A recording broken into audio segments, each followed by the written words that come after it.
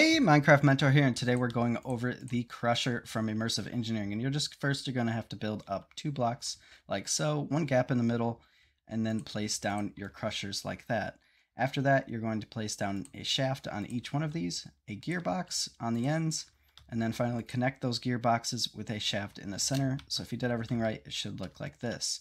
Next, we want to come over to the right. So if you're standing right here, the right side is key that's because the rotation of this will uh, matter whether it's crushing or not. So make sure you're on the right side. Place down your clutch, your water wheel, and then we're going to surround the water wheel with uh, your building block here. Break apart something down here so the water doesn't go everywhere, and then you flow out.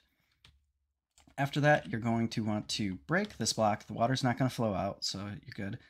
Place down your redstone, and then you're going to come over to the other side place down a lever, and the clutch is just there for people who want to uh, be able to shut off their uh, crushers whenever they want and have control of that. If you don't want to do that, you can simply take out the clutch and just put in another gear shaft, and that'll allow it to just run constantly all the time.